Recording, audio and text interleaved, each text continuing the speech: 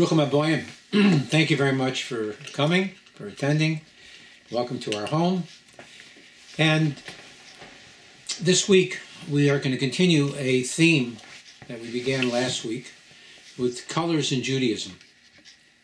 And um, again, this is the second lecture on that theme. Now, today the flag of the state of the Israel is blue and white. This basic design recalls the Jewish prayer shawl, a talit, and based on Kabbalah, the Sephardic Jews wear a white talit to connect to the color of the white tzitzit.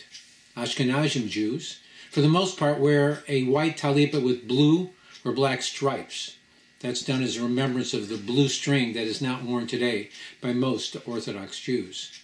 Now, the Pri Megadim, who was a halakhic commentary, states that wearing a two-colored talit is a custom that traces its origin back to the Zohar, and the colors mentioned are both blue and black together with the white. Now, white is a primary color, with stripes of either blue or black on the talit. Hasidus teaches us that white alludes to kindness, chesed, and the color blue is an antidote for the ayin hara, the evil eye. I believe that black colored stripes that we were added to the white majority to tell us that life has its ups and downs, black and white. But in the end, it's the black that makes the white even whiter. It's the valleys in our lives, the challenges, that makes the peaks, our successes, so much higher. And that's how we are wired, much like a heart monitor. It may also be an allusion to a, a Sefer Torah, a Torah scroll, which is primarily white parchment with black ink. In Judaism, there are three types of commandments. they are mishpatim, civil laws. Then there are ed edos, testimonies, such as holidays. All nations and religions are connected with civil laws and testimonies. What is unique about Judaism are the laws that we are referred to as chukim, statutes. They have no logic, and we do them only because God has commanded us to do so. Ratzon Hashem, the will of God. The ultimate chok, statute, is the parah adumah, the red heifer. It must be completely red. If it has two black hairs, it is invalid. It is ritually slaughtered and then burned to ash outside the walls of the temple, very unusual. The purpose of the parah adumah was to purify someone who had been defiled by a dead body, which is the highest form of impurity in the world. In order for an individual who has been defiled by the dead to become pure once again, they must be sprinkled with the ashes of the parah adumah, which is mixed with water. And this ritual is repeated twice, once on the seventh and then again on the, the pardon me, once on the third and then again on the seventh day of the purifying ritual. Now, this ritual is performed by a priest, a Kohen, who becomes defiled by contact with the ashes. So, the same ritual that makes the impure person pure makes the pure person, the priest, impure. A chok, no logic. So, we see that the color red, which usually is a sign of passion, violence, and sin, in the case of the parah adumah, the red heifer, it acts in just the opposite fashion, counteracting spiritual impurity and allowing the defiled individual to become spiritually pure once again. Now, they would not they would not be allowed to have contact with other people and to enter the precinct of the, of the temple until this ritual was done. We can see the same scenario with red wine, which we use sacrificially as an atonement for the sin of Adam eating from the tree of knowledge, which most commentaries seem to agree was a grape. Red, white, and blue represent fire, water, and air, respectively. They also stand for strength, kindness, and splendor, respectively. Or similarly, judgment, kindness, and mercy. I find it interesting that these are the same colors as the flag of the United States of America. We know that originally the founders of this country were religious Puritans that actually spoke Hebrew. This country was founded on Judeo Christian principles of judgment, kindness, and mercy. Now, colors are also associated with angels. White with the angel Michael, red with the angel Gabriel, blue with the angel Uriel, and emerald green with the angel Raphael. They are also associated with the forefathers, white with Abraham, Abraham, red with Isaac, Yitzchak, and blue with Yaakov, Jacob. They also connect with the Svirot, the traits of Chesed, Gevurah, and Tiferes, traits of kindness, severity, and beauty. Based on this logic, the Shulchan Aruch Yoreh 178.1 states that there was a time when a woman was forbidden to wear red garments. Red is also connected to the laws of Nida, menstruation. The Mishnah in Nida 2.6 states that there are five kinds of blood that make a woman a Nida. They are red, black, the color of a crocus, the color of earthly water, or like diluted wine. They found that some of the rabbis were colorblind. Based on that observation and the fact that in those days, many communities only had one rabbi to serve them, they issued a decree that only those colors, such as white or golden green, are clean, which would allow a couple to engage in marital relations. All colors that lean towards red are unclean, which would forbid a couple from having marital intimacy. Now, green is a color that we see everywhere in nature. The current scientific view of what the color green is a calming, relaxing color. Andrew Elliot, a professor of psychology at the University of Rochester, was quoted as saying there is some tentative evidence that green is relaxing because it is associated with growth and nature. This relaxing effect may have something to do with green light having a shorter wavelength than that of red light. Bright green trees were found to be more calming than trees of other colors. Another study showed that subjects who were told to wait in a red room had higher stress rating scores than those who waited in a green or white room. I remember Johnny Carson and all the late night shows, they would wait in the green room. I find it interesting that the color green is associated with envy and jealousy. There are those who trace its origin to Shakespeare in his plays Othello. In the 17th century BC, the poetess Sappho used the word green to describe the complexion of a stricken lover. The Greeks believed that jealousy was accompanied with an overproduction of bile, leading to a pallid green cast to the victim. Now, we see a totally different description of the color green in the story of Esther. The Talmud the Gemara in Megillah 13a states that there are many reasons why Esther was called Hadassah in the book of Esther 2.7.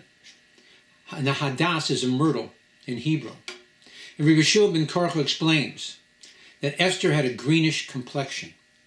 Now the Gemara continues by saying that she was given a touch of grace by God, and this is seen by the description of her beauty, with such words as Yifat Toar and Yifat Mareh and Esther 2.7, which stand for beauty and form and beauty and appearance.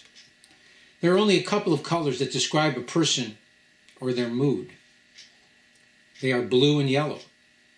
You may meet a friend and ask them, Why do you look so blue, unhappy, or downcast? What is the origin of this saying? Some say the word feeling blue comes from the tradition of ships flying blue flags and bearing a painted blue band around.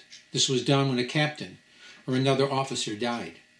Another origin of the blues is derived from mysticism involving blue indigo, which was used by many West African cultures in death and bereavement ceremonies, where all the mourners' garments would have been dyed indigo blue to indicate suffering. There is also a saying in music of singing the blues. Blue is connected with death. When someone stops breathing, they turn blue, usually in a matter of two minutes. The lack of oxygen in the blood makes things look blue. Some people, when exposed to cold, have their lips and fingers turn blue. Now, the color yellow seems to be connected to cowardice, a state that is probably more closely linked to amphibians. Frogs, specifically yellow bellied ones, that are known to hop and hide whenever you go after them.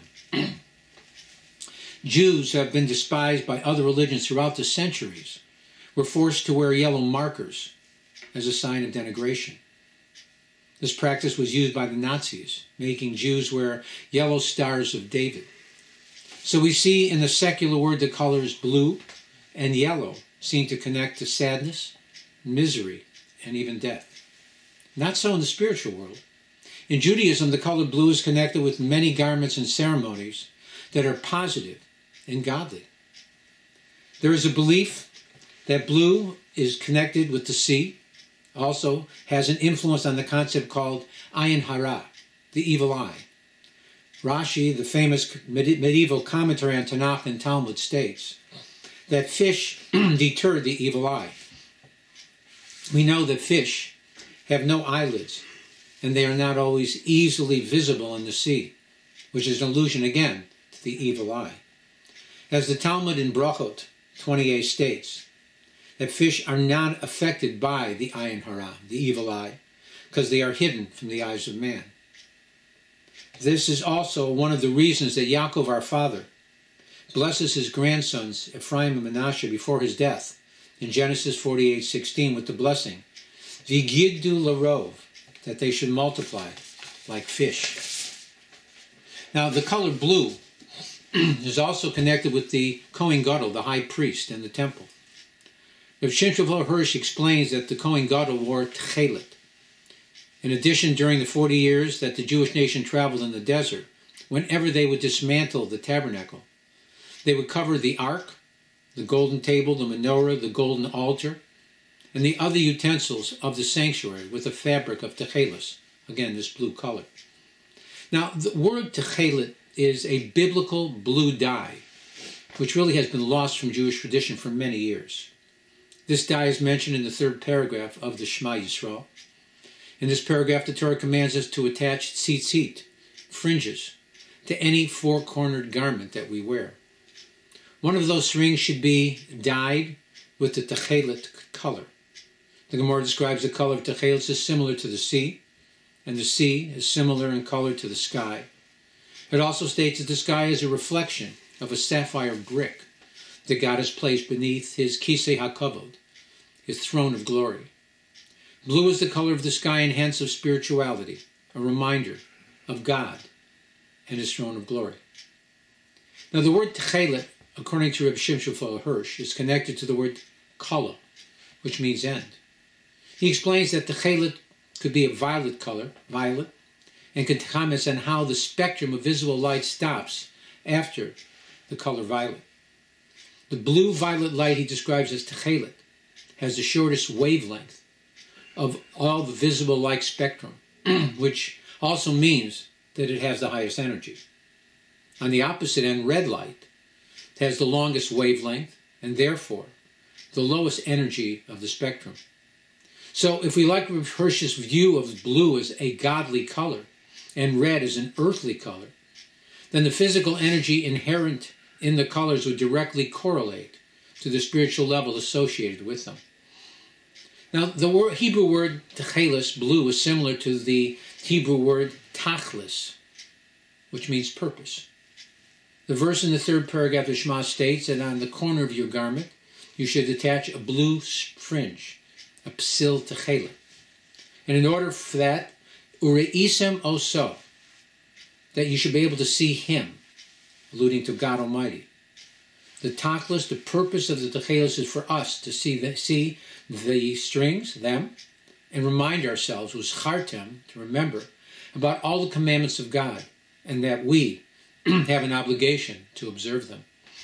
Now, the color blue is connected with kingship, hence the term royal blue. Jewish kings were descended from King David, who was from the tribe of Yehuda, Judah. It is not a coincidence that the stone in the breastplate that represented the tribe of Yehuda was royal blue, as was their flag. Not only that, on their flag was a picture of a lion, the king of beasts. So, as I've mentioned many times, nothing Nothing in life is an accident. The Jewish nation were only able to perform the commandment of Techelet, the blue fringe on their garments, for the first 850 years that the nation resided in the land of Israel. After the destruction of the first temple and the exile of the nation to Babylon, the mollusk that produced the Techelis color was no longer known to the sages. It's interesting that the gematria of the word Techelet is 850. Again, nothing's an accident. After the flood, Noah was apprehensive about having children and repopulating the world. He was concerned that God would destroy his world again, but God assured him that he would never again bring a flood to destroy all mankind.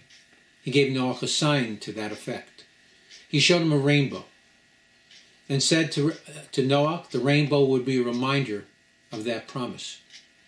But the question has to be why a rainbow? So the rainbow is composed of seven basic colors red, orange, yellow, green, blue, indigo, and violet. Each of these colors are made up of 24 different shades and hues. All of them unite to form one single whole. And this is illusion for us that just like a rainbow, all people should unite and come together in peace and in harmony. So the rainbow is a sign of unification and mercy. It reminds us of the sins of mankind and the punishment that they paid for those sins. The bow of the rainbow is facing up to the heavens, not down to earth. This is a sign that God will not destroy the world again with a flood.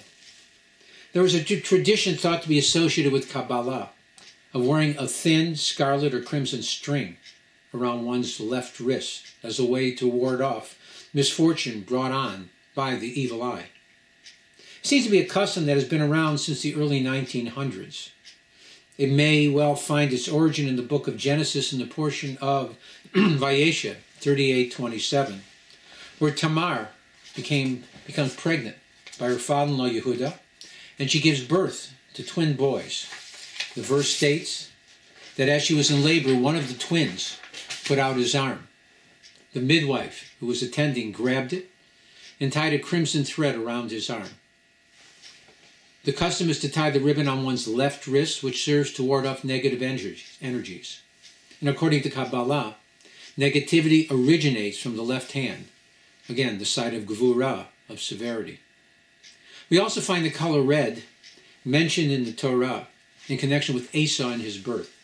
It states in the book of Bereshit in the portion of Toldos, 25 24, that the first one was Admoni, reddish. Then in verse 29 it states that Esau came back from the field and he was famished. Yaakov was cooking lentils, and Esau said to Yaakov, Give me a swallow of min ha'adom from that red stuff. Now, red is a color that is associated with blood, passion, enthusiasm, violence, and even murder. The planet Mars is referred to as the red planet. Each of the seven planets are associated with a color. The color of the sun is a combination of orange and red. However, it is generally considered red in color. The moon is pale white, but it reflects the orange red rays of the sun. Mars is of a red color, but it also reflects the yellow rays of the sun. Mercury is a green color and reflects green rays. Jupiter is an orange-yellow color but reflects mainly blue rays of the spectrum. Venus is considered to be a pure white, but it also reflects indigo rays of the spectrum. And Saturn is a black color and reflects violet rays of the sun. Our sages tell us that Esau was influenced by the planet Mars from the moment of his birth. There is a medrash that states that Yaakov was cooking lentils to serve to his father, since his grandfather Avram had just passed away, and lentils are a food that we feed to a mourner. The medrash states that on the day that Esau had that day Esau had committed five major sins, among them murder and rape, sins that are connected to the color red. Now Yaakov gave his favorite son Yosef a kesonas pasim, a coat of many colors. Why many colors? Why not just one or two? Yaakov saw Yosef as a leader of the family. It was his hope and prayer that Yosef would be the one to unite all the brothers into one family unit, one united nation. The coat was meant to be a symbol of that unity. However, hmm, instead of uniting the family, it brought about the exact opposite results in that it became a symbol of division among the brothers. best laid plans of mice and men.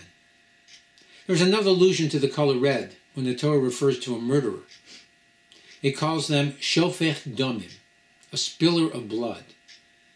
When you embarrass another person, you cause them to blush, and the blood rushes to their face. After a time, the blood drains and then they become ashen. This movement of blood to and from the face, the reddening and whitening, are tantamount to murder. Something we should all keep in mind. Whatever colors, Dylan said, whatever colors you have in, in your mind, I will show them to you and you will make them shine. So we see that colors play an important role in all facets of our lives, both secular and religious. It makes our lives more appetizing, more appealing, and more enjoyable. May God bless us that our lives are filled with peace and harmony, like the colors of a rainbow. And with that, may we usher in the coming of Mashiach Tzidkeinu quickly and in our time. Thank you again very much for listening. May God bless you again with happiness and joy, and may you be safe. Have a great Shabbat. Again, thank you again.